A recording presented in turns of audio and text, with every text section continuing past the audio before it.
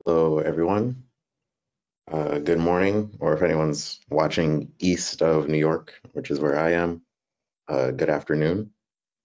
And welcome to uh, my section of this special questions class. Uh, this is the second part of the online National Marxist School hosted by the CPUSA. Um, this is the last day, I believe it is. Um, so we'll be covering a number of topics. My topic will be racial and national oppression. Uh, this is something that uh, I've helped put together things for for the party or have uh, kind of led with respect to the YCL. And I suppose I should introduce myself as well. I'm Kei. I am co-chair of the Queens Club of the Communist Party, and I also organize with New York YCL. Um, and so this is part of a work in progress. And so uh, I hope we'll be able to take this forward and make some use of it.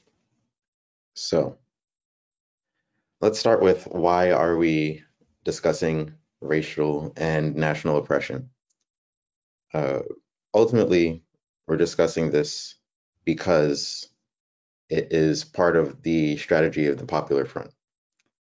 Uh, now, the idea of the Popular Front is something that has existed for a while.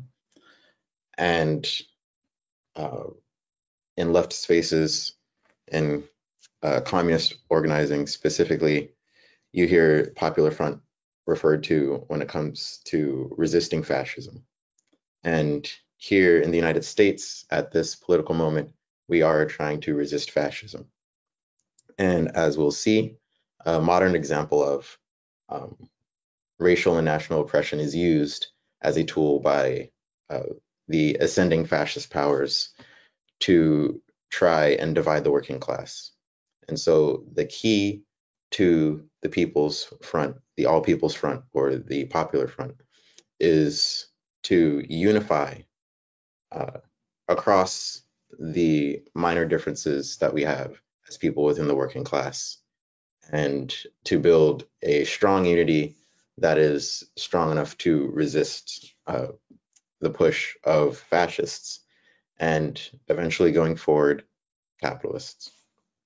Um, but let's speak more concretely.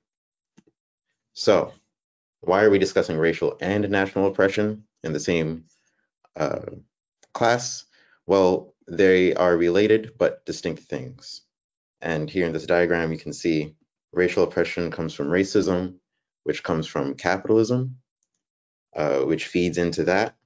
And national oppression comes from nationalism, and uh, that comes from capitalism as well.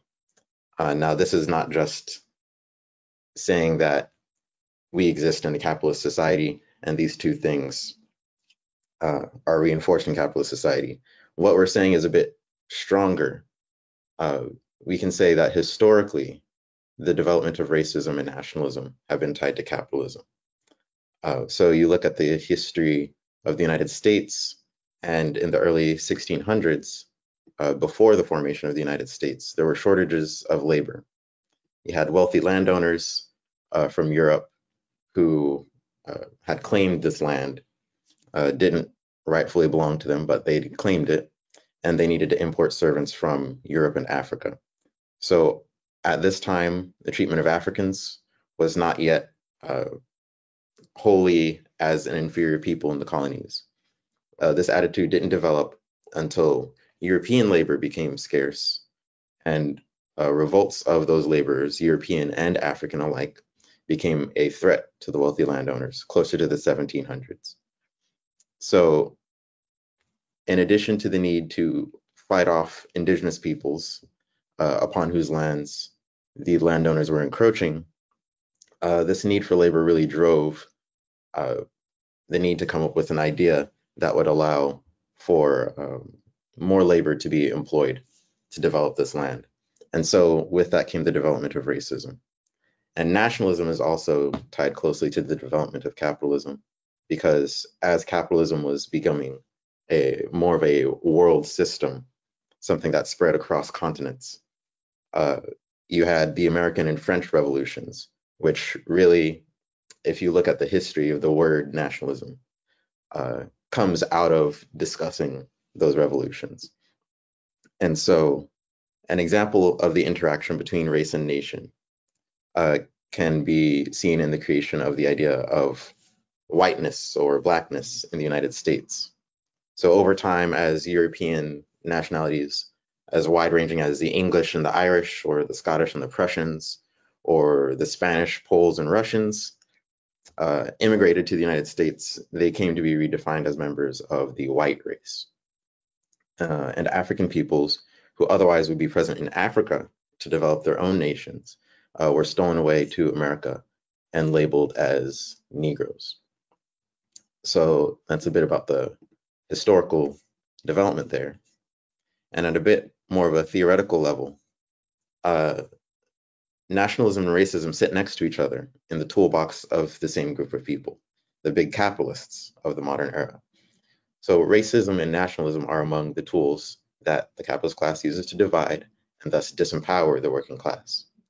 Within these divisions, the oppressed suffer solely because of a status apart from their class, though the effects of the oppression are distributed unevenly depending on class.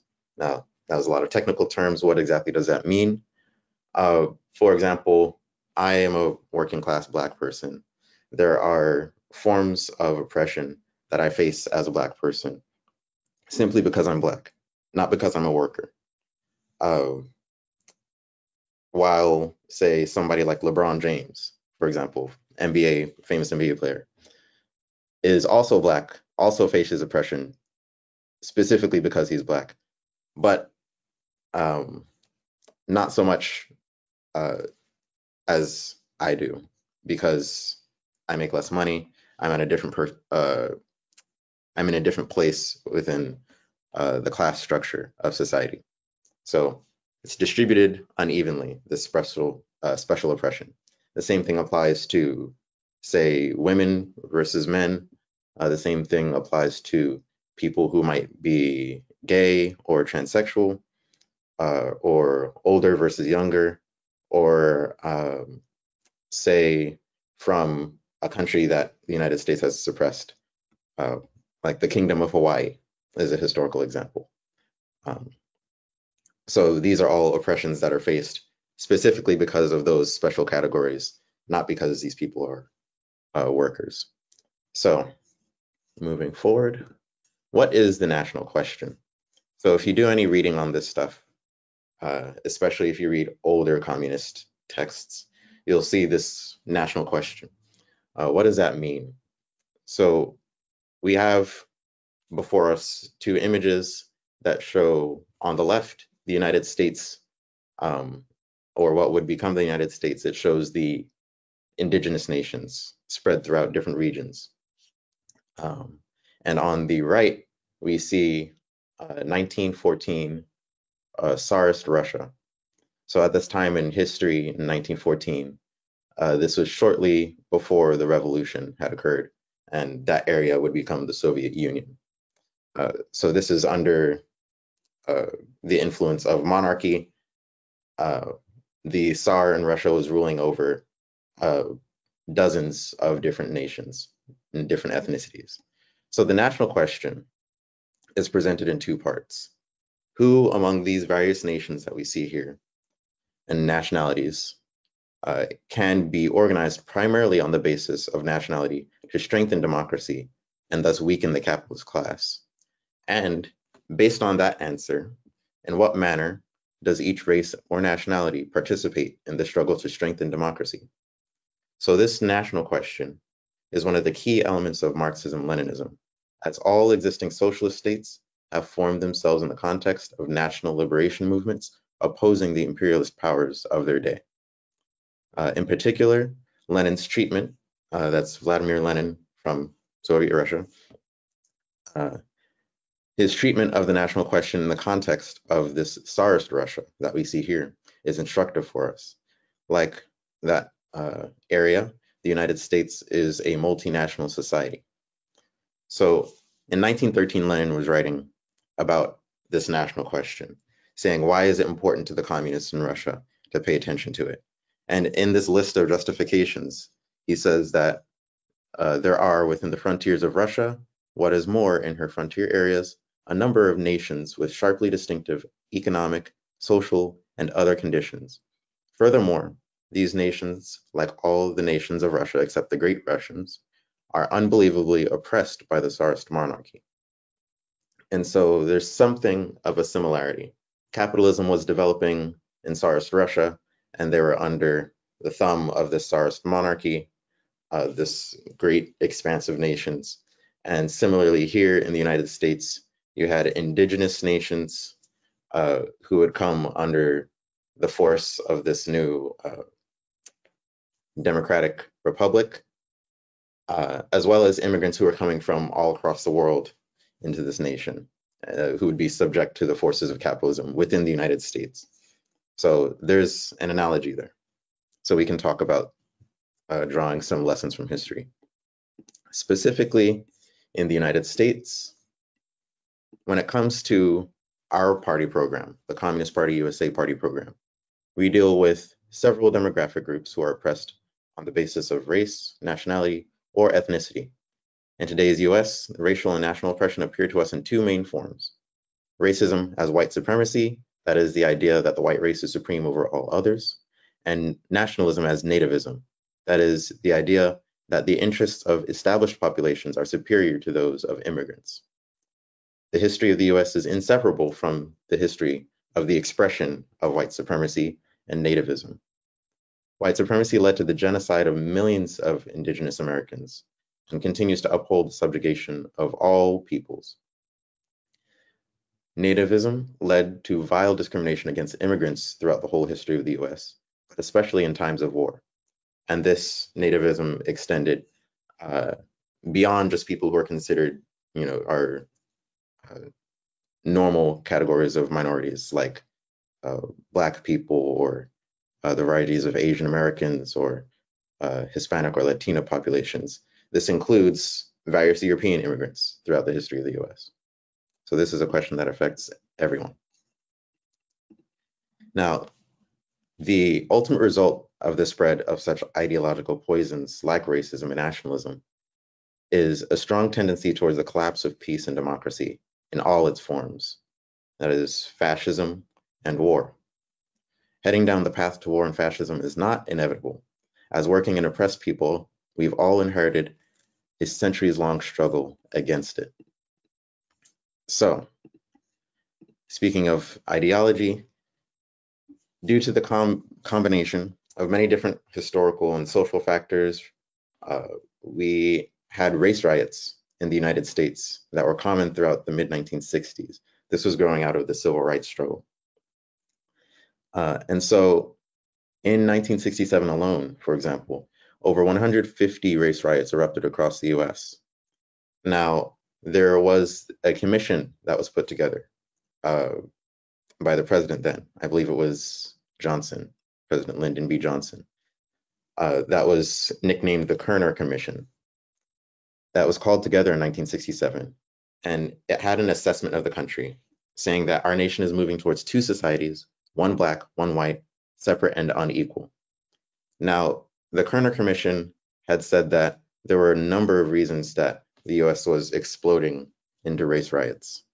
Uh, among these were discrimination in policing practices, the justice system and consumer credit practices, inadequate housing and public assistance programs, high unemployment, and the exclusion of communities of colors from the democratic process. However, it is precisely against this future of two societies that uh, former CPUSA General Secretary Gus Hall argued.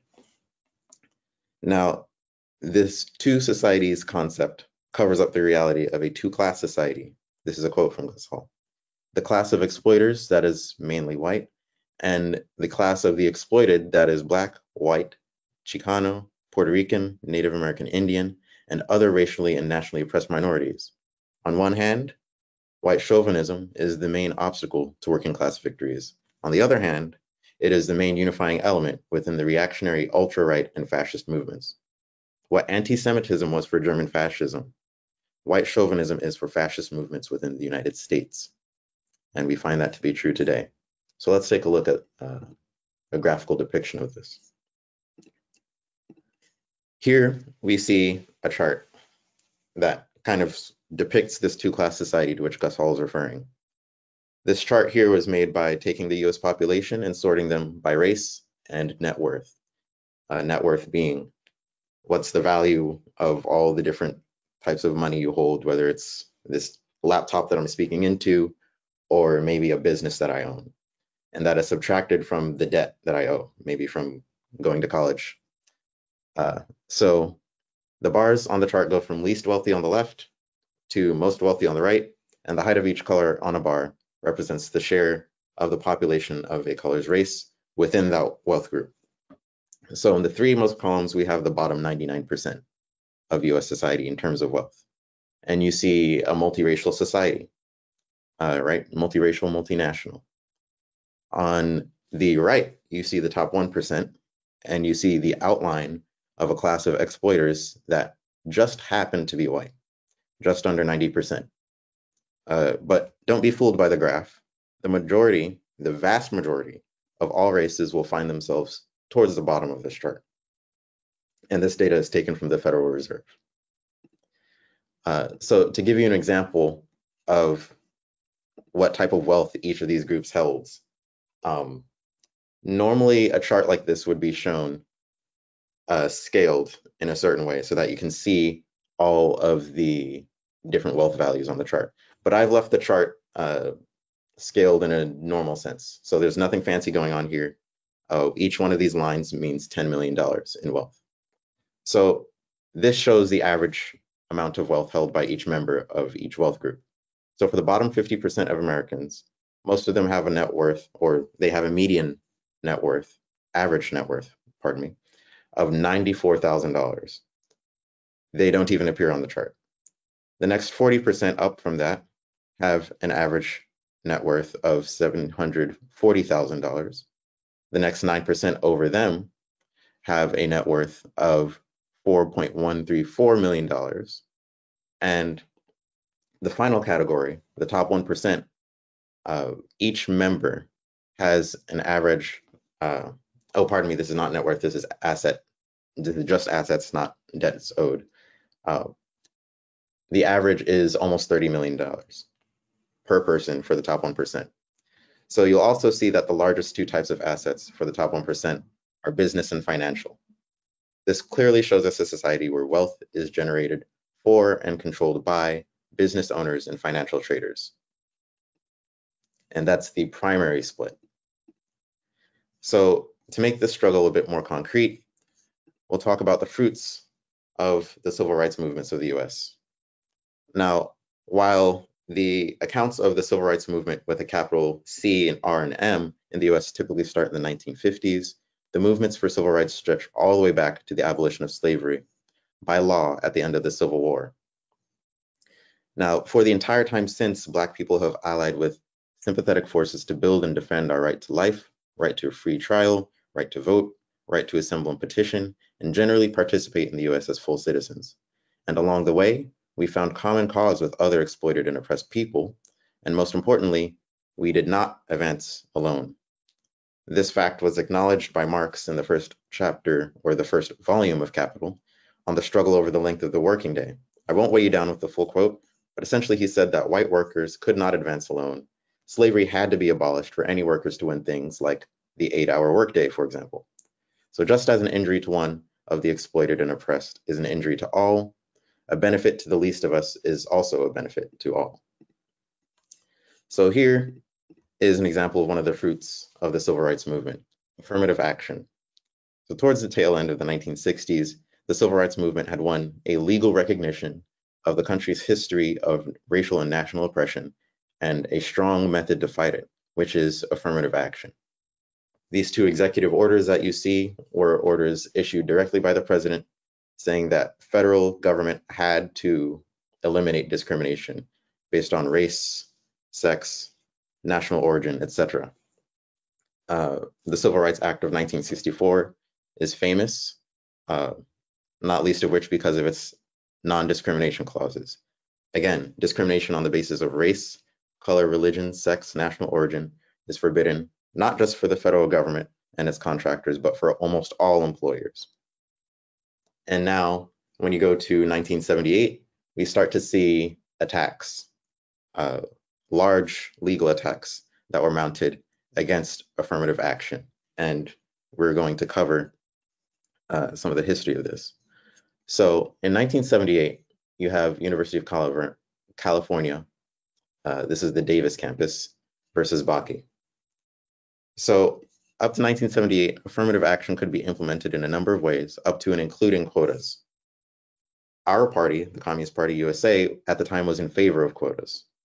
A former USA, uh, CPUSA chairperson, Henry Winston, wrote in the Daily World in 1978 What is critical is that affirmative action laws must contain guarantees, or put more popularly, it must have teeth in it. Is it not the duty of the class in its own interest to support the struggle for quotas?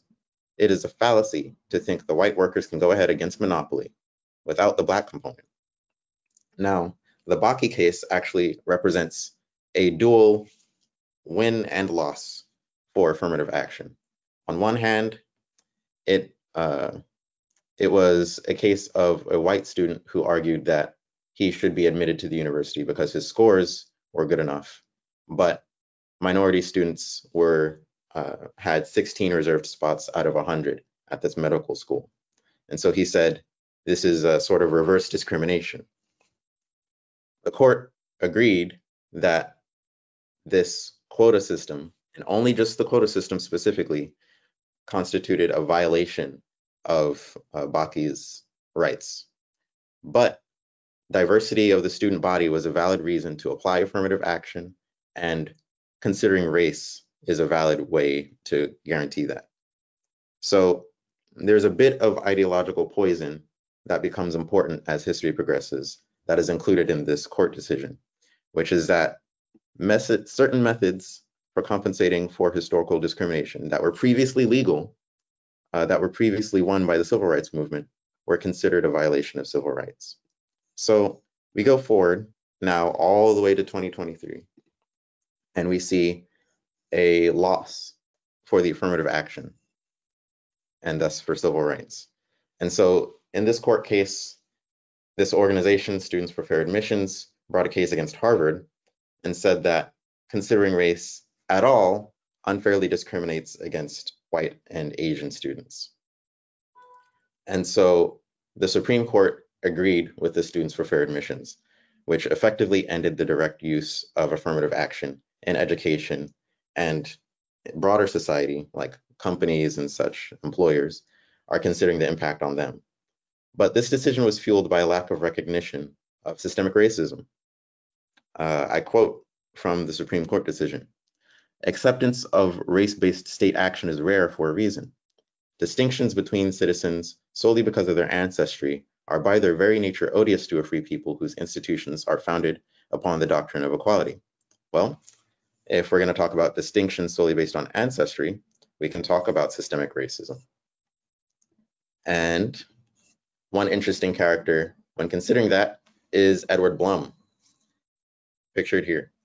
He's the founder of Students for Fair Admissions, and since the 1980s, or maybe a little bit before that, he's been a lifelong campaigner against affirmative action, specifically. Uh, here's a quote from him in the New York Times responding to a question asking if he uh, acknowledged the existence of systemic racism.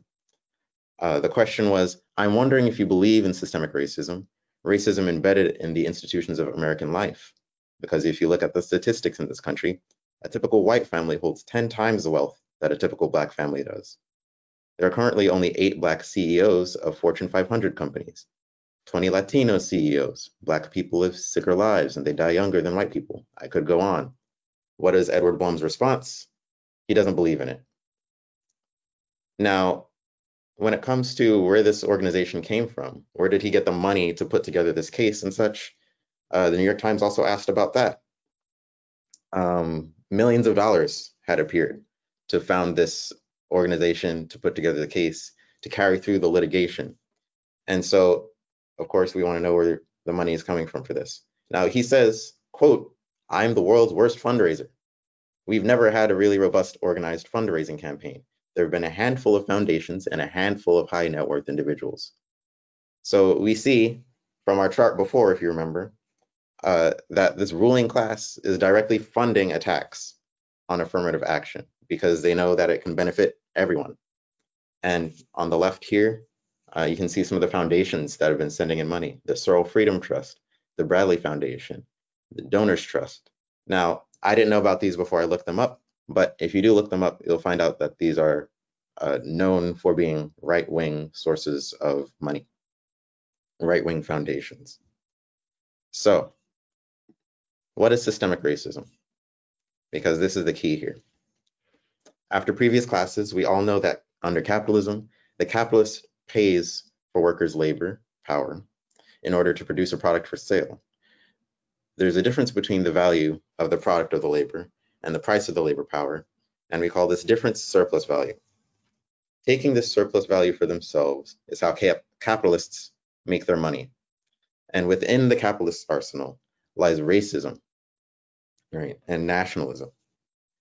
So this has infected capitalism down to its roots. And out of the roots of capitalism grew uh, these methods. And so the chief force preventing unity of the working class uh, in terms, in these terms, is white supremacy. Right. This leads to the oppression of all races, including the, the so-called white race uh, within the U.S. It's littered all over the history of the US from the beginning. If you count the genocide of indigenous peoples of the US, if you count the enslavement of African peoples, the forced annexation of different uh, colonies in areas such as uh, Mexico or Hawaii or Puerto Rico or the Philippines, or the subjugation of any numbers of immigrants that have come into the US over its history. So I see that uh, we're running a bit low on time. There is this case that if you are interested in looking more into it, uh, that is California's Proposition 209. Now, California actually abolished the use of affirmative action in their universities, at least the direct use. Uh, so you can't discriminate against protected groups, but also you can't give preferential treatment to them. Uh, and this was pushed through California legislature into its state constitution in 1996. Um, also by right wing forces, also by the rich. Now, there was a study done, you can look into it, look up the name Zachary Bleemer and affirmative action. But essentially, because we have this uh, example of 25 years of the death of affirmative action in a particular area, Bleemer did this study specifically on California specifically on the groups that were affected, and saw that there was a negative effect on uh, on under the underrepresented groups that were now excluded by these policies. And contrary to the language that was used by the right wing in pushing this proposition, uh, there was no benefit to the white or Asian students that were used as an excuse to get rid of these rights.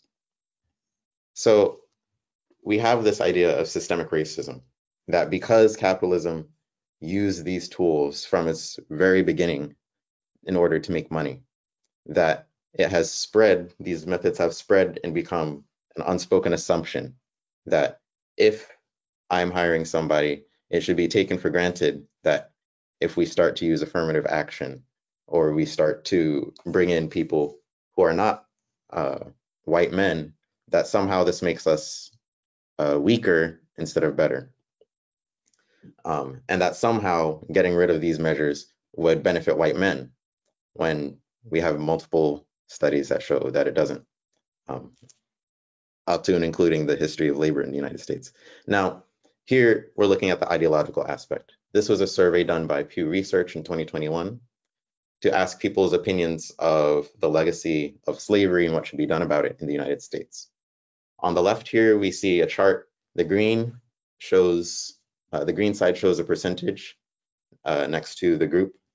So at the top, you see all US adults, 58% think that um, the legacy of slavery affects Black people in the US. Um, so they think 58% of adults in the US think it, it affects them a great deal. Now, you'll see this is the majority opinion in every category except the Republicans, which are now trying to overthrow democracy in the United States. So, uh, not sure how much weight we should give that opinion, except uh, and how to plan against it. Now, the notable thing here is the difference between these two charts, because on the right, we have a picture of who thinks that we should support reparations for descendants of enslaved people. In every single group on the right, less people think that we should support reparations for descendants of enslaved people than think that there is a gap caused by the history of slavery in the United States. And so this is one example. This is talking specifically about slavery and specifically about African Americans, but for all groups that have been oppressed uh, on the base of race and nationality. Uh, this is the kind of thinking that we have going on in the American public is taking a step, taking multiple steps to resolve these issues. Uh, some groups are not convinced, right?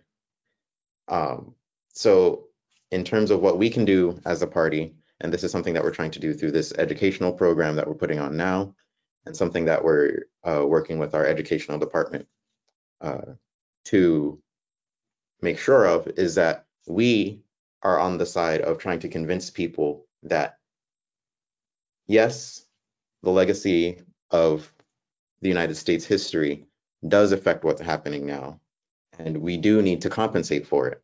And not only do we need to compensate for it, but we can do something about it, and we can do something about it within our lifetimes. Because all the change that I just talked about um, with respect to affirmative action is within a lifetime there are people who might be watching this uh, who have been alive to see the progress of these things go back and forth. So uh, change is possible, positive change is possible. And that's something that we need to make sure that people can see and do the work to build.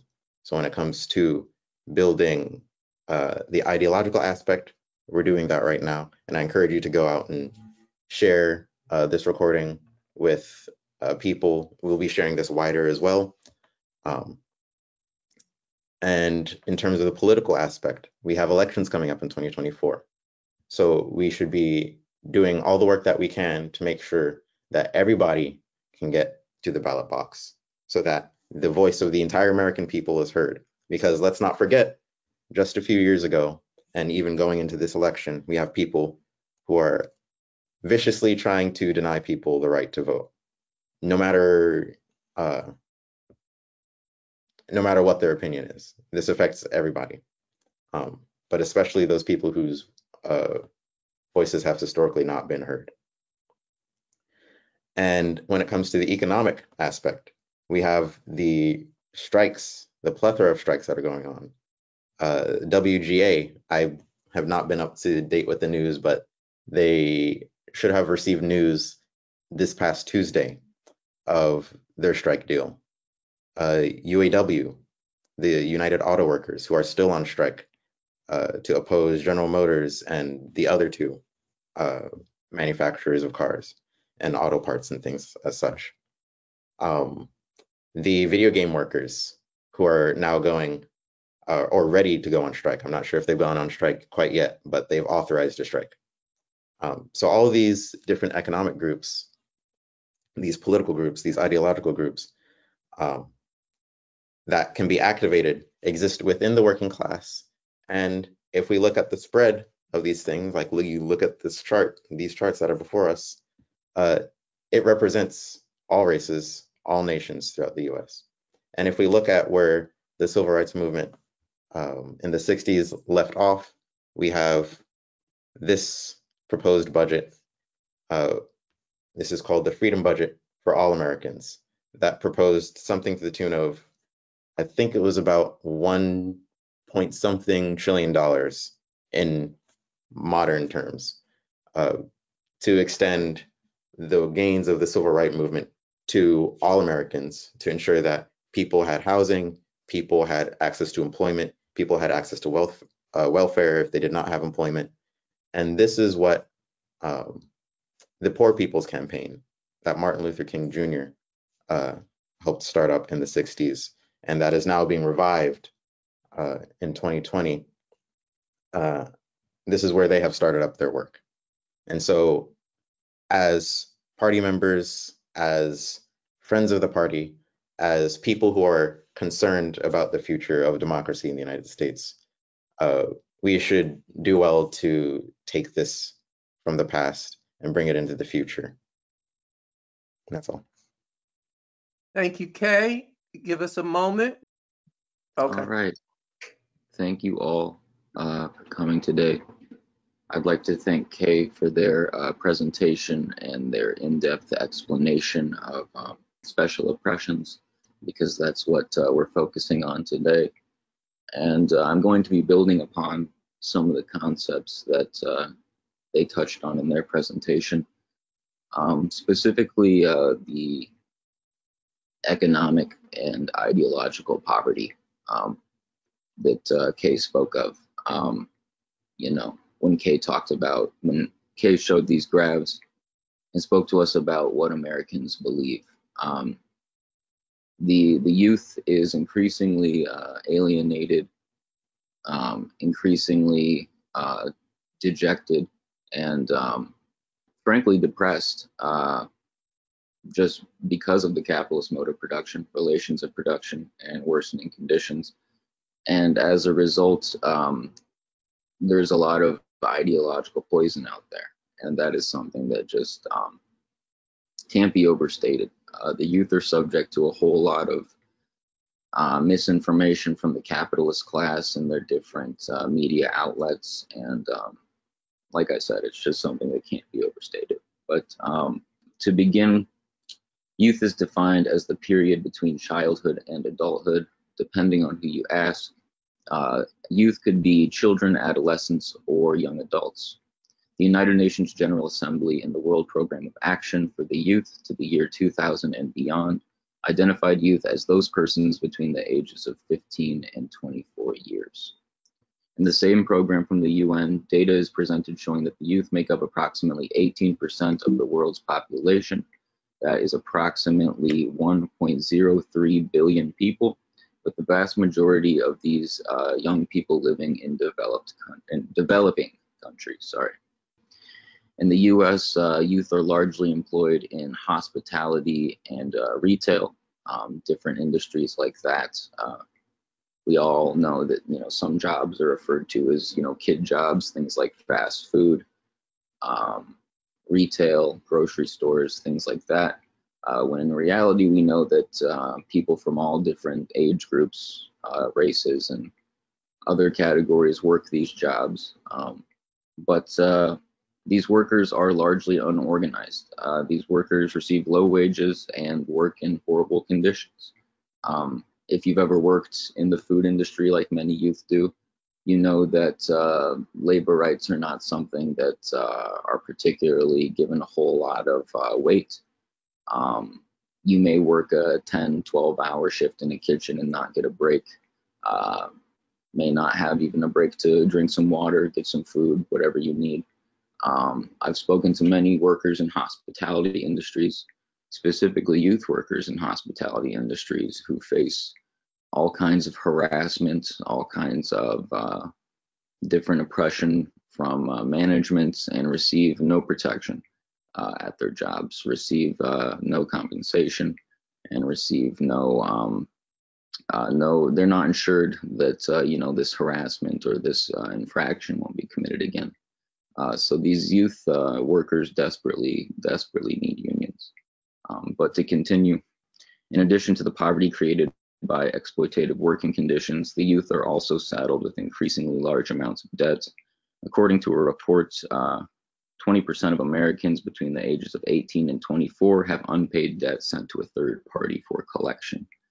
Um, so this creates uh, a new level of economic precarity for young adults. Um, whereas maybe 50, 60 years ago, you might have needed to perhaps take out a loan to pay for your house.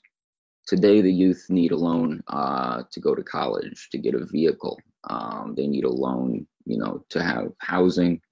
They need a loan for just about anything that isn't an immediate uh, need. And this um, ties the youth to these ginormous banks and um, eventually just kind of sets them up for a life of uh, a kind of indentured servitude to the banks. And uh, it's a very horrible economic situation. Uh, in addition to facing poverty and increasing debt, the youth are enduring a mental health crisis. Center for Disease Control states that in the year 2018, for youth ages 12 to 17, that 15.1% had a major depressive episode, 15.7 made a suicide plan, and 8.9% attempted suicide. Additionally, 16.5% of school-aged youth have been diagnosed with a mental health disorder. Uh, considering poor access to preventative care, uh, like therapy and things like that for working class people, we can assume that these numbers are much higher.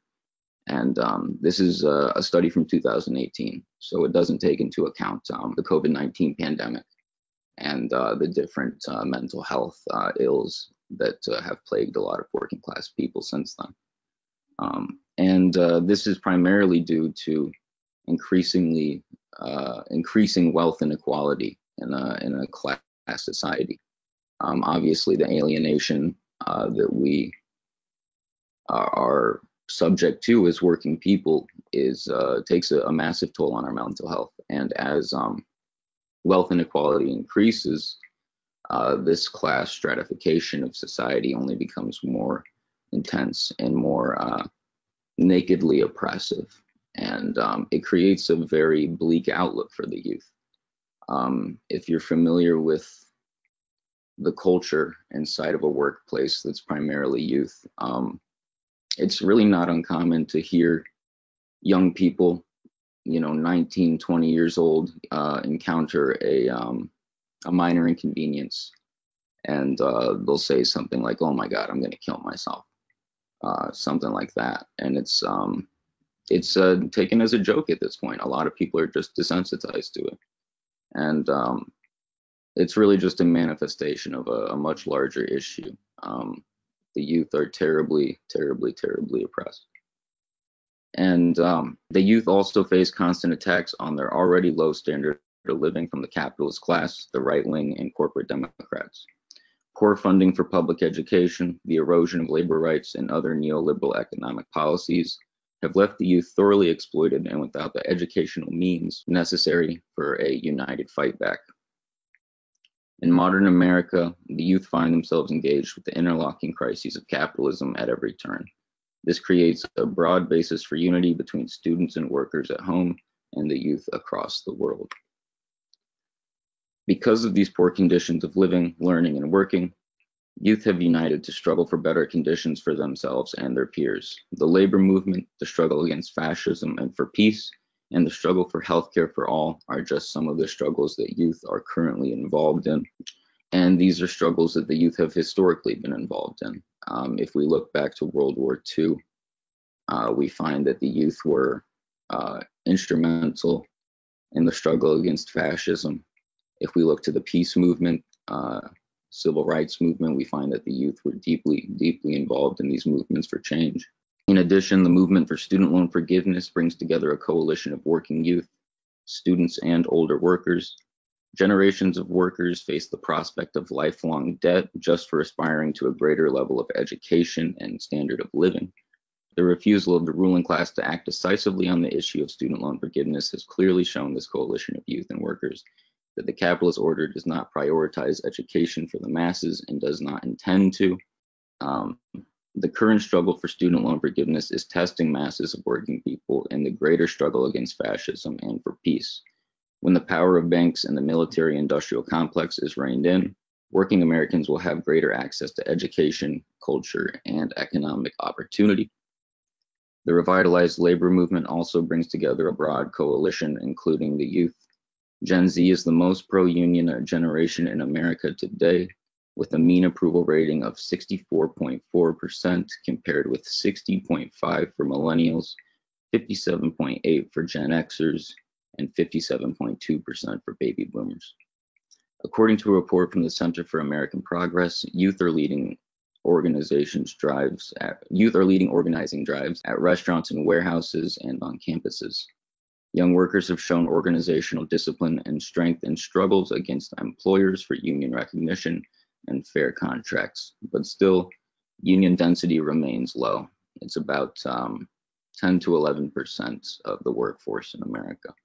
Um, if the revitalized labor movement can win gains similar to the industrial union movement of the 20th century, we can raise working and living standards to a level never seen by American workers.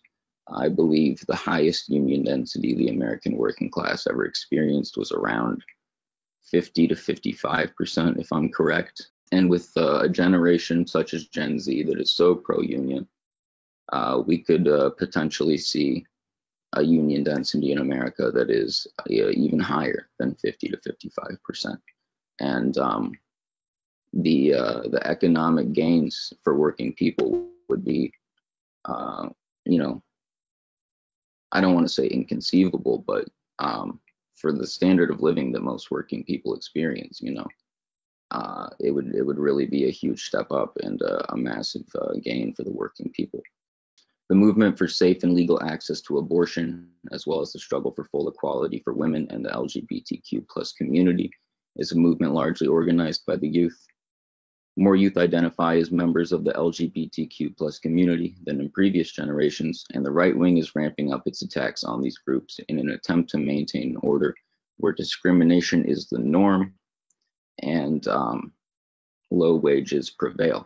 The basis for unity and the struggle for full equality for women is massive. Unity crosses class lines and causes splits in the ruling class.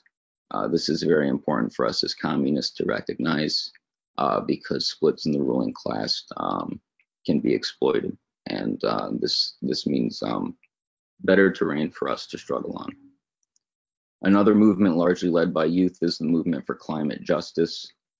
As I mentioned earlier, the vast majority of youth live in developing countries and the youth in these developing countries really bear the brunt of you know the disastrous effects of climate change uh, they already um, face food insecurity and on top of this uh, climate change threatens worse economic uh, fallouts from natural disasters such as flooding uh, wildfires and uh, all the different kind of things we've that have become normal uh, since the acceleration of climate change uh, the movement for renewable energy and jobs in the energy industry brings together youth, students, workers, and even at times capitalists. This struggle is directly tied to the struggle for peace because the US military is one of the largest polluters on Earth. Without a unified struggle to end US military occupation around the world, climate change will continue. And uh, the youth notice this or they realize this. Um, many uh, movements for peace uh, directly indict, you know, the capitalist class that is um, sort of uh, leading the the call for war in uh, whichever country. Um, for instance, in the invasion of Iraq, you know, um, organizers in the peace movement brought to the uh, the front, you know, the oil interests that were leading a lot of these actions and then the war in Ukraine. Obviously, we have uh, oil interests, we have um, political interests, and a number of other uh, interests at play, um, particularly finance capital. Uh, BlackRock is um, profiting massively from the war. Uh, but the path forward for the youth is uh, class struggle. No other means of confronting the social ills of capitalism will secure a future for the youth across the world. The youth have demonstrated international solidarity in the struggle against war and fascism in the past, and a, uni- a new united front against fascism is being built and tested in the day to day struggles that youth find themselves in. As communists, we need to be aware of the conditions of the youth and the struggles they are involved in. We should provide support to their struggles so that we can foster solidarity between working class youth and students and the broader working class. The Youth Labor Alliance is needed to defeat fascism and to struggle successfully for socialism. Without this alliance, the youth are estranged from the struggle for socialism, and the working class is estranged from the struggles of the youth, creating perfect conditions for sabotage by the capitalist class. The capitalist class thrives when young and old workers are disunified and pitted against one another. Right wing media blames the youth for various social and economic problems in an attempt to steer criticism away from the capitalist class. Struggling against corporate media narratives that pit young and old workers against one another should be an area of focus for comrades involved in the youth struggles.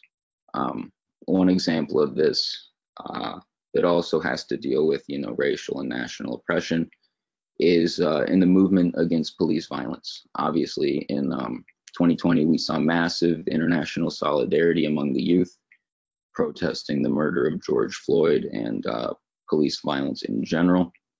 And in response, uh, right wing networks, Fox News, and, and the like, came out and uh, just accused the youth of being, uh, you know, rambunctious and uh, not understanding, you know, uh, how the police need to work, accusing the youth of, you know, being violent and destroying property and all these different things, um, attempting to make this less about the state uh, using violence to um, maintain a certain order and more about oh you know the youth are crazy and and uh, they're going to be crazy and there's nothing we can do about it. But as communists we must struggle to bring the class analysis to the youth struggles against climate change against discrimination and for student loan relief when the youth can grasp revolutionary theory paired with their unparalleled compassion and devotion to change anything can be accomplished and um, i'd like to just close out my uh,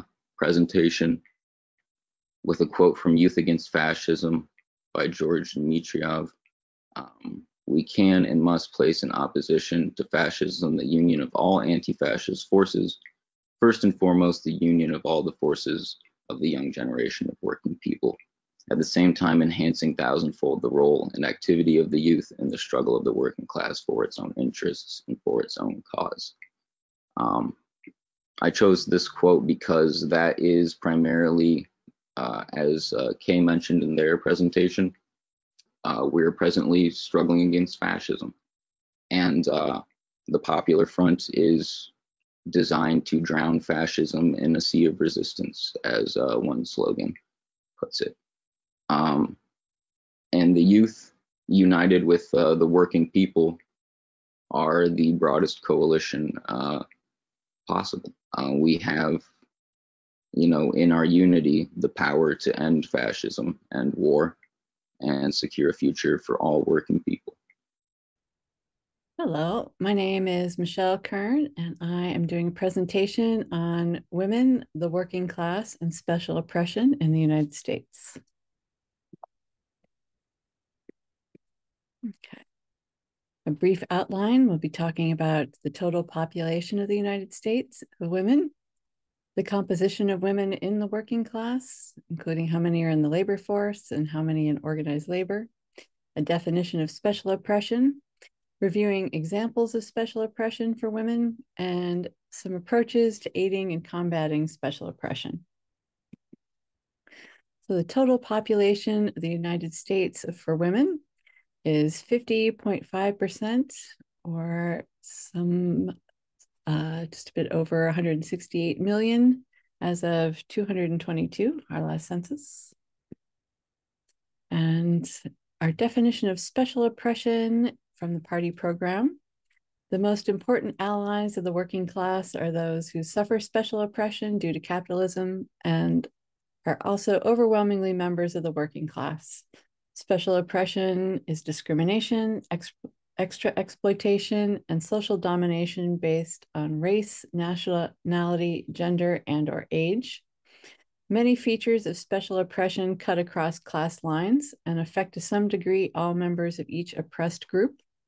And the special oppression of women cuts across class lines. This cross class oppression means that women play a progressive role as a social group.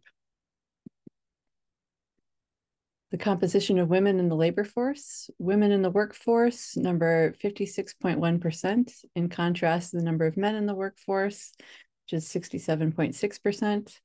Uh, labor force participation for women has been improving somewhat since the Great Recession. You can see in the chart below.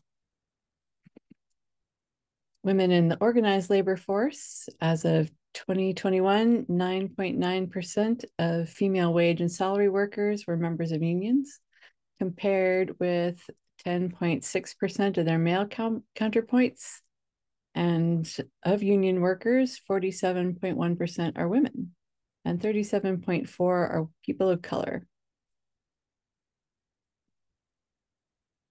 So, in talking about examples of special oppression for women, this is by no means a complete list. It's only representative of a few issues to illustrate scope, limited by our time permitted today by our program. Low wages and racist super exploitation limited access to better paying jobs, poor maternal health outcomes and reproductive oppression, low representation in elected office, violence and femicide, and sexual harassment in the workplace. Low wages and racist super exploitation in wages in 2021, women who worked full time in wage and salary jobs had median usual weekly earnings of $912, which represented only 83.1% of men's median weekly earnings of 1,097 per week. More working women, 3.4 million, than working men, 3 million, lived below the official poverty level as of 2020. The poverty rate for women overall in 2020 was 12.6%, with men overall having a 10.2% poverty rate. 13 out of 10,000 women are homeless. Women of color, especially Black and Hispanic women, experience some of the highest rates of poverty at 21.5% and 18.8%. And Black women are paid 64% of what a white non Hispanic male makes at his job even though women's participation in the labor force had improved post the Great Recession, uh, COVID had an effect on wages and jobs for women. That was quite noticeable. Job losses were most heavily concentrated amongst low wage workers in the service, leisure, and hospitality service industries, where women and individuals of color are more likely to work. Many women also reduced their work hours or left work entirely to care for children who are not in on site schooling during the day, and also many reduced their hours to care for elderly relatives. Female non college graduates at work decreased by 5.7 percentage points, and male non college graduates at work fell by 5.5 percentage points. Women who reduced their hours or dropped out of the workforce temporarily are also at risk at losing opportunities in the future for raises and promotions over the rest of their lifetimes. Uh, women also experience limited access to better paying jobs. So, lower paying pink collar jobs are overwhelmingly staffed by women and not always by choice. There's a growing body of research that shows that the low pay of many female dominant occupations has nothing to do with skills, but rather simply because they're done by women. Almost two thirds of minimum wage jobs are held by women, and men in female dominated fields still tend to make more than women in the same fields. You can see here the pink collar jobs referred to on the last slide. These are the 10 occupations employing the largest number of women as of 2018. Hasn't changed much uh, teachers, nurses, nursing, psychiatric, and home health aides, secretaries, cashiers, customer service representatives, retail salespersons, waiters and waitresses, and first line supervisors of retail service workers and managers. Another special oppression is women's poor maternal health outcomes and reproductive oppression. In 2021, 1,205 women died of maternal causes in the United States, compared with 861 in 2020 and 754 in 2019. In 2021, the maternal mortality rate for non Hispanic Black women was 69.9 deaths per 100,000 live births, 2.6 times the rate for non Hispanic white women, which is 26.6 per 100,000. Overall, maternal deaths have spiked in the last three years with an increase of 40% between 2020 and 2021 alone. Black women are three times likelier than white women to die from a pregnancy related cause. As of last year, Roe versus Wade being repealed by the US Supreme Court, the abortion law post Dobbs has had uh, a significant e- economic impact. So, costs for an abortion have jumped 41% traveling for an abortion to another state, which is now the regular way things go for women who live in a state that has illegalized abortion, um, can be from 900 to 950 or up to 1200 depending on location. The median out of pocket cost for a medication abortion in 2021 was 568, up from 495 in 2017 and the cost of a first trimester procedural abortion, medical abortion in 2021 was 625, a 32% increase from four years before. Women also suffer from low representation in an elected office. Only 28% of Congress is composed of women, which is a 59% increase from only a decade ago has not come close to representing the population of women in the United States, which, as we said before, was 50.5%. The Senate is only 25% women and currently has no Black women senators. 61 women of color currently serve in the 118th Congress as voting or non voting members. Just under half, or 29 of them, are Black, 20 women are Hispanic, and 11 are Asian American, and two are Native American. Only one woman has served in the executive branch in elected office, and that is our current VP, Kamala Harris. In state office, total overall in the country, there are 2,276 women, including 552 women of color as of 2021. These women represent 30% of state legislators nationwide. Women hold 557 state Senate seats, 28%, and 17, 19 state House or Assembly seats of 32%. Only the state of Nevada seats 50% women in elected state office.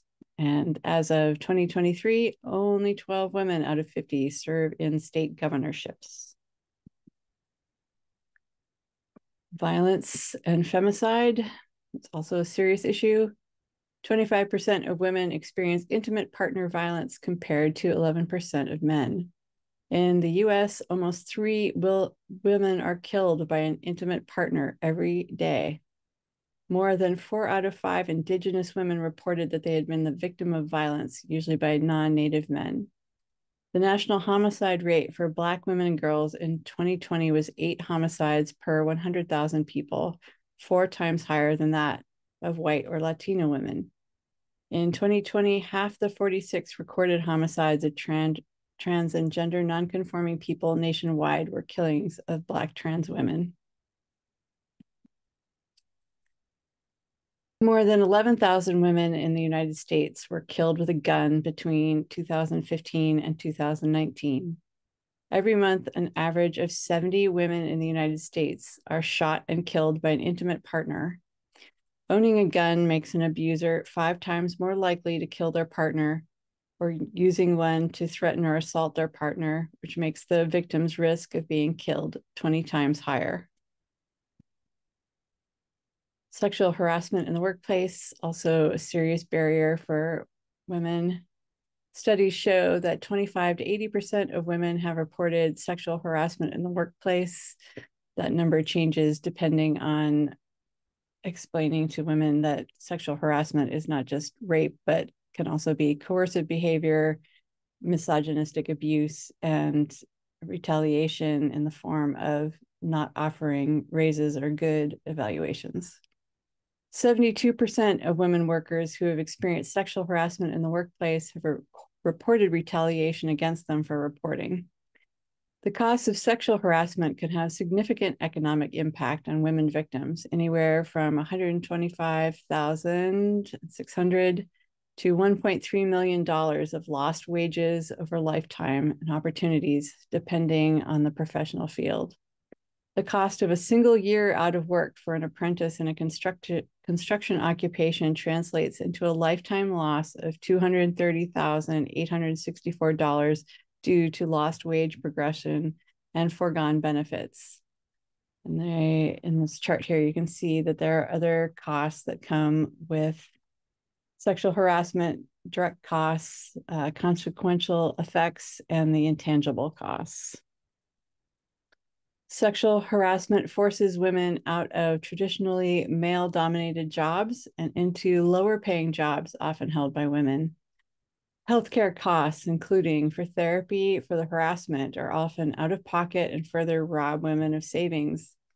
Vulnerable women, such as immigrant women, suffer greatly from sexual harassment in the workplace and often fear reporting due to status and being threatened with deportation for reporting. The lifetime cost for each rape survivor is $122,000, $461. Social issues are economic issues. What can we do to aid in combating special oppression? We can foster cross class unity and also intergender unity amongst women who are not in the working class supporting women's organizations, working to expand leadership of women in office, passing laws to combat special oppression and support families, including laws to raise the wage, childcare, and expanding SNAP. And last but not least, we should work to end voter suppression tactics, which often suppress the vote of women, especially women of color. Thank you so much, and I hope that you enjoyed this. Elias, you want to open your mic? Okay, yeah. So uh, just as a preface, uh, as I, as you can see by the title here, um, this is a brief uh, statistical observation on the Hispanic working class of the United States. It includes some uh, analyses, uh, mainly again from a statistical perspective uh, on the various factors of the Hispanic working class in the United States. Um, and yeah, I think we can get started. In this presentation, we will go over three major factors of the Hispanic working class uh, within the U.S. Uh, those three factors are composition, uh, the occupational factor, and the electoral factor. Uh, composition-wise, 47.2% uh, of the Hispanic population uh, live in cohabitating households consisting of married couples without children. Uh, and 25.5% live in cohabitating households with children. Uh, the majority of the Hispanic population rent their homes with a median rent of 1,226 per month. 15.8% of Hispanic households are food insecure. Approximately one in five Hispanic households lack some form of health insurance. 17.1% of Hispanic households are overcrowded per unit. About 61% of Hispanic households take home less than 62,500 total per year before taxes. And most Hispanic individuals achieve high school graduation as their highest form of education at around 27.8% of the Hispanic population. Um, these compositional statistics give us an idea of some of the living conditions of uh, Hispanic individuals uh, within the United States. Um, and now we can move on to the occupational factor. Um, as expected, the vast majority of Hispanic people work for private entities. Uh, the five most common jobs for Hispanic men are construction laborer, production supervisor, truck driver, food service supervisor, and janitorial service. Uh, and the five most common jobs for Hispanic women are maid or housekeeper, cashier, registered nurse, secretary, and customer service representative. Um, as you can imagine, these jobs come with a higher uh, occupational hazard rate than most jobs, particularly uh, white collar jobs that are occupied by uh, uh, uh, primarily white men and uh, partially white women. Uh, the unionization rates for the Hispanic population are uh, relatively small, about the same of the rest of the population. Uh, for Hispanic men, it sits at 9.1%, and for women, it sits at about 8.5%. Uh, the composition of the most commonly unionized fields for Hispanic people in the United States is uh, protective service occupations for men at 34.6%, transportation and warehousing occupations at 14.5%, and manufacturing occupations at 13.8%. Uh, for women, it's education, training, and library occupations at 33.7%, protective service occupations at 29.8%, and healthcare support occupations at 11.3%. Um, again, these are uh, mainly physical demanding jobs uh, that the unionization rates uh, are at for these positions. Um, in the electoral realm, uh, some of the most important issues going into the 2022 midterms for the Hispanic population were economy and cost of living at 80% being the most important issue, healthcare at 71%, educational policy at 70%, takes on violent crime at 70%, gun policy at 66%, voting policy at 59%, and abortion at 57%.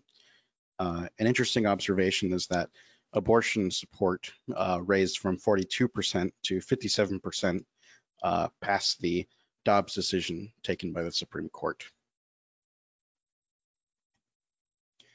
Religion is a sharp division in the voting patterns of Hispanic peoples.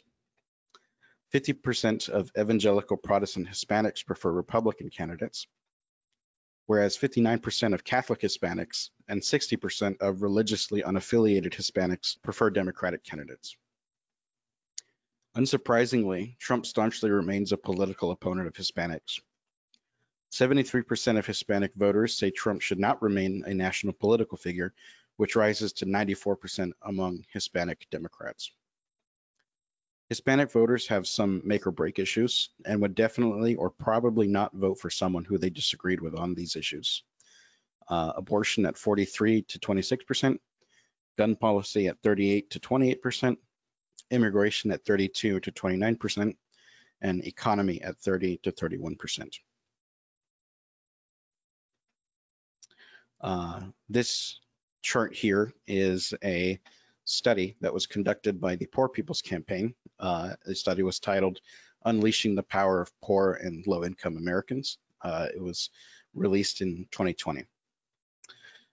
Considering that Hispanic Americans, along with African Americans and Native peoples, are among the most common minorities which live in poverty, this Poor People's Campaign study shows that barring voter suppression, uh, uninterested politics and accessibility due to lack of time and or disability remains some of the biggest obstacles to a better election participation rate among Hispanics.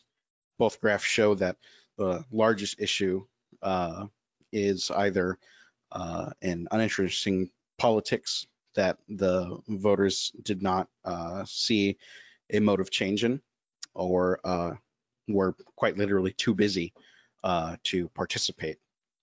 So things such as uh, making voting a national holiday or um, uh, having a politics uh, that offers a future to believe in or a greater medium of change, uh, as we've seen during some certain campaigns in 2016 and 2020, uh, show that they might be uh, optimal routes, again, barring voter suppression, to increase turnout in that regard. Uh, from the study, I quote, Uh, a large proportion of the electorate is not participating in elections because they are not motivated by a particular candidate who might make a difference on issues that matter to economically vulnerable families. And given that uh, the Hispanic population is set to become the largest minority in by 2045, I believe, uh, these are observations that can be taken uh, to account in the greater struggle for uh, incorporating larger parts of the Hispanic population into the struggles for democracy and against fascism. And that's the uh, essence of the brief observations on the Hispanic working class of the United States. And I have a list of sources here at the bottom. Thank you very much. Hi, everyone. This is Molly. Uh, thank you so much for your contributions. And uh, we're going to take uh, as many questions and comments as we can uh, and then turn it over to the speakers to respond. Uh, so I am looking for raised hands from those who would like to contribute a question or comment. Krista Chan. Hi, um, thank you everyone for the presentation. My question is if I could get some um, recommended introductory readings about the national question. Thank you, Krista. So I am looking for more raised hands. Mohsin Sadiq, your mic is open. Thank you, Comrade. My comment is uh, uh, something that Comrade Kei talked about in terms of the reparation. There is a discussion going on the third world countries that for the for the last 50, 60 years since decolonization started, the Western countries came blaming the the underdeveloped countries because they, they're lazy, they are not they are not productive, they're not imaginative. That's why they're underdeveloped. The fact of the matter is the, the resources of those countries have been sucked off and there, there's no capital left in those countries. Basically, there's a demand for something like a reparation that the, the Western countries should be paying back the countries in Africa, Latin America, and Asia. So I think we need to think about in more global terms how, how the demand of the African Americans in this country is sort of sort of similar to the, the global demand for equity and justice, for example. And I think we need to think a little more globally and come up with a, a strategy that we can all also benefit and participate in. Thanks. Thank you, Mohsin. Uh, Jack, there you go. Thank you. Uh, these were all very cool, invigorating presentations. Uh, Luke and Kei, you specifically emphasized that changes can happen within a lifetime and can happen soon. And while that leaves me very excited, it mostly makes me wonder, well, how do we do that? So I will leave you with a very open-ended question of how do we do that? Thank you, Jack. Um, one comment that I'd like to share uh, is um, to the youth question. Um, I uh, it, it is there's Luke, you brought in so many aspects of the impacts uh, on youth, and um, some that are sitting with me are um, the role of social media um, and also AI, and just in general with the youth uh, consumer rights um, and the kind of acquisition of our data um, and growing up as kids with it. Um, another one is like gun violence and in general, um, just the carceral system uh, and the unique impact that that has on youth um, in, in, in bringing them into um, you know, violent um, encounters um, with each other in the state. And um, third, like the the thing that just kind of stuck out to me, kind of coming from Elias's presentation, was actually, you know, abortion is is a youth issue.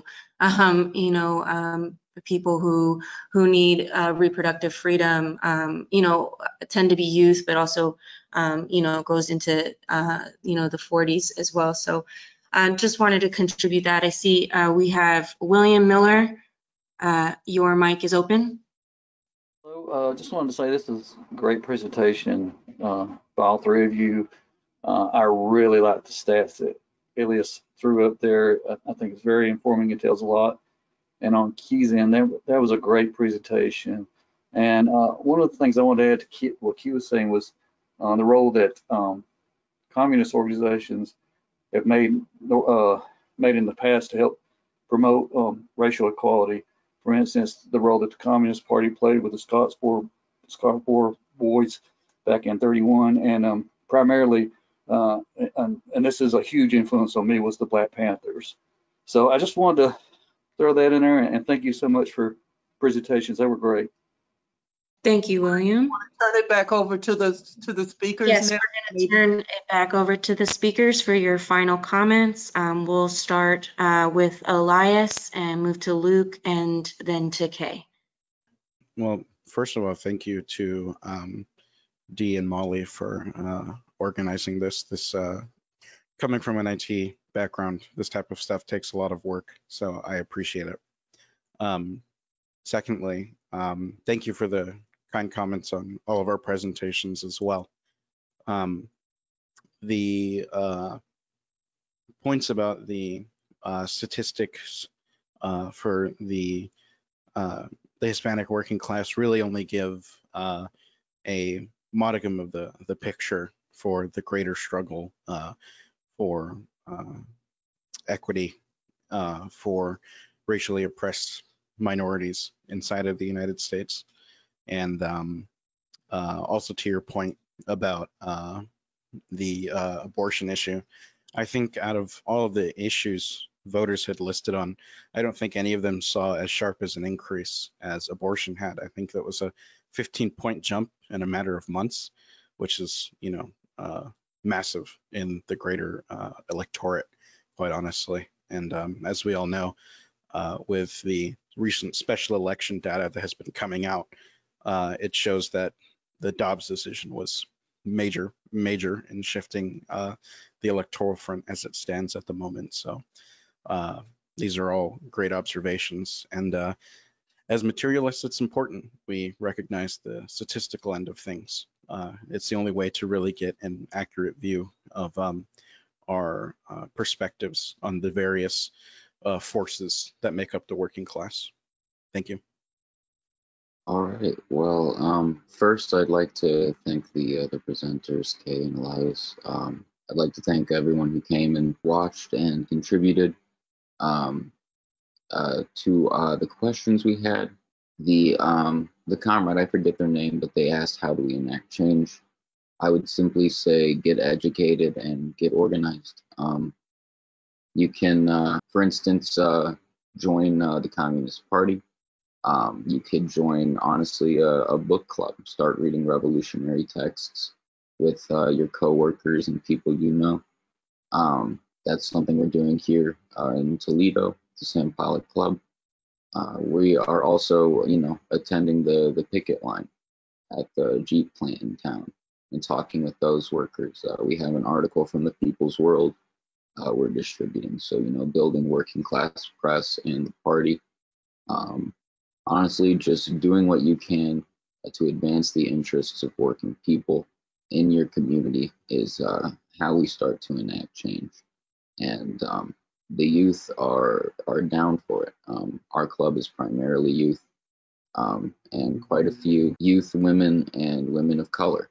So um, to to Molly's uh, different impacts, you know, like like the uh, the abortion question, that absolutely affects the youth.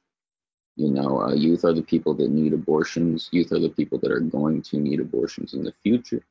And reproductive health care in general is something that affects the youth along with everyone else.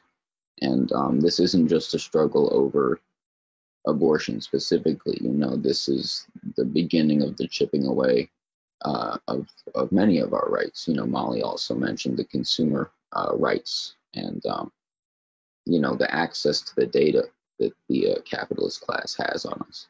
It's absolutely insane, you know, like Molly mentioned with the advent of the internet and uh, all these different types of social media. Not only does it accumulate all that data, uh, which in result turns to capital for the capitalist class, um, it also, you know, increases the alienation, which is one of the, the most devastating effects of the capitalist mode of production. Uh, we're so alienated from each other uh, specifically as youth, that you know a lot of uh, a lot of youth, you know, simply don't know how to talk to uh, their coworkers, don't know how to talk to people in their, in their community, and start to enact that change. So um, yeah, there are a lot of uh, a lot of these issues that primarily concern the youth. And to be honest, I just have bullet points because I've been very busy um, uh, at work and with some personal stuff lately. Um, but yes, absolutely. Um, gun violence too is another large issue that uh, increases the alienation of workers and also um, contributes to the capitalists accumulating profits. Um, but yeah, those are my answers. Thank you all to um, thank you all who came out and uh, participated. I would also like to thank everybody for participating on this. Uh, I, I'm sure it's better other places. New York is like flooding, but it's a pretty nice weekend afternoon. Um, and thank you to my fellow presenters for their presentations, rounding out the discussion on special questions, uh, because there are a lot of them and it's a lot of work uh, to do on one's own, which is why we work collectively. Um, which brings me to add to what Luke had just said about how do we change things. Um, really, there is we we've advanced a lot since a lot of the people that we read have written their thoughts on how we can make progress. But even so, there's so much to do. Um, like something that has been weighing on me because I've been thinking about the, the upcoming 2024 elections a lot is that there's like somewhere between a quarter and a third of Americans that just don't vote.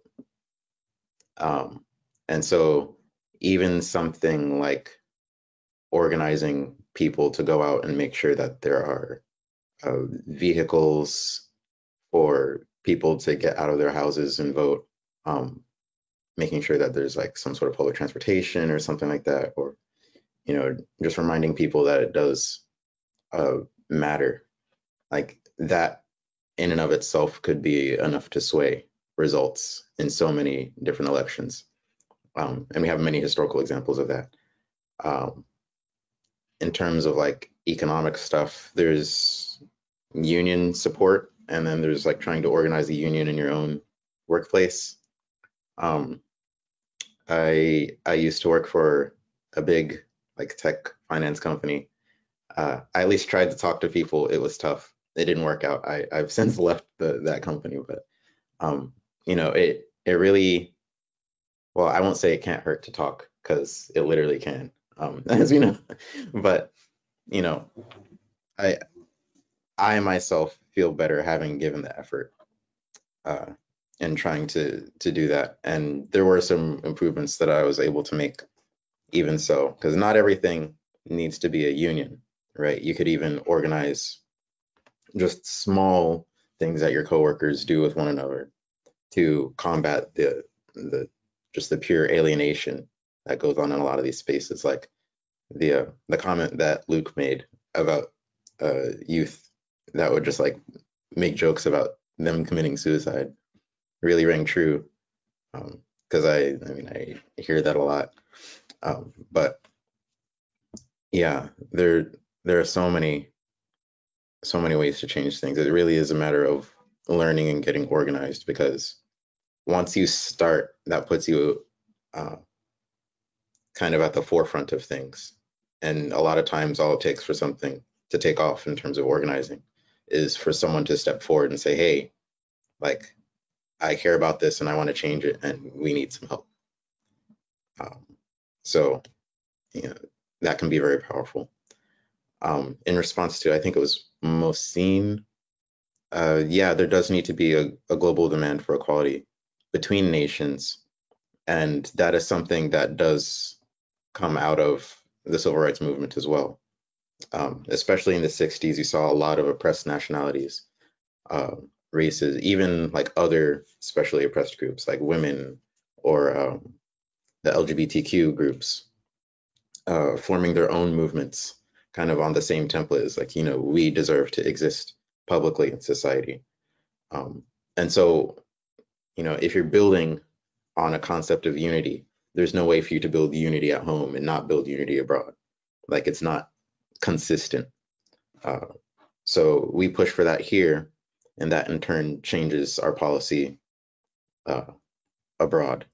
And so we should continue to do that. You know, the civil rights movement famously opposed to uh, the wars that were going on that were waged by the the United States then, and our movement also needs to be opposed to the wars that are being proposed or that we're funding uh, here in the United States, because like half our taxes go to that stuff.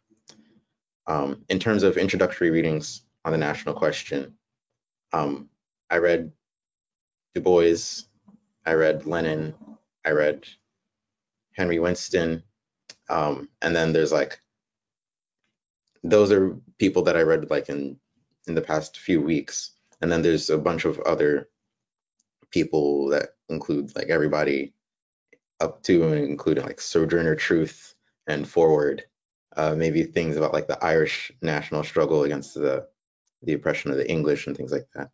But just to throw some titles your way, uh, there was 100 Years in the Struggle for Negro Freedom uh, by W.E.B. Du Bois.